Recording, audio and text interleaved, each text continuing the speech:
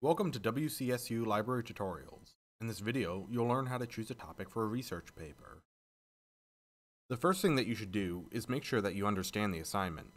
For instance, the professor may specify the number of pages the paper should contain, as well as the number and types of sources that you should include. The professor may also specify a broad topic from which you need to develop your specific topic. Remember that the required length of the paper will have a direct impact on the topic you choose. All of this is important information to consider when choosing your topic. Once clear on the assignment, be sure to choose a topic that interests you.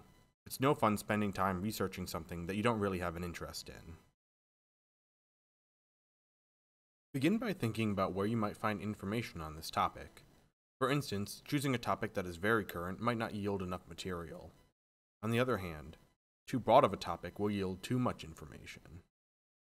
A helpful starting point for narrowing down a broad subject is the database Credo, located in our databases.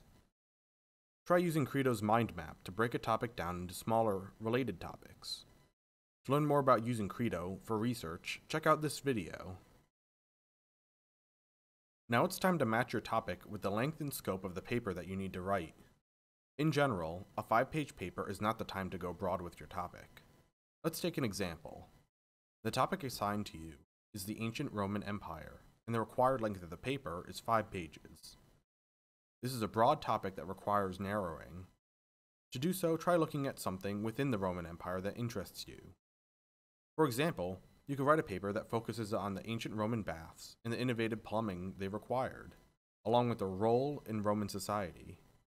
This is a narrow topic specific to a broader topic that'll work for your paper. But now suppose that your topic is too narrow. Try out different ways that you could broaden it.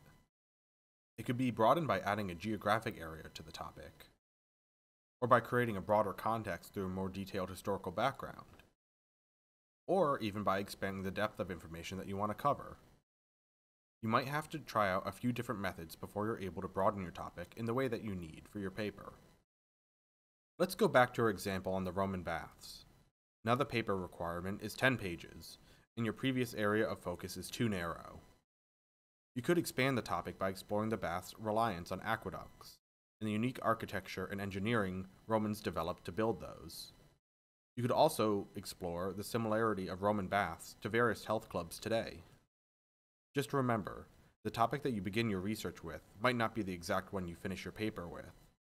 You will constantly narrow, broaden, and adjust your topic as you research and you write your paper. Once you've figured out your topic, check out our video, Identifying Main Concepts. It will show you how to go about developing search terms from your topic that can be applied to a database search. In the meantime, if you still need help choosing a topic, you can always talk to your professor, or to a librarian. Thanks for watching this video. For more information on conducting research, make sure to check out our website as well as our YouTube page for more tutorials.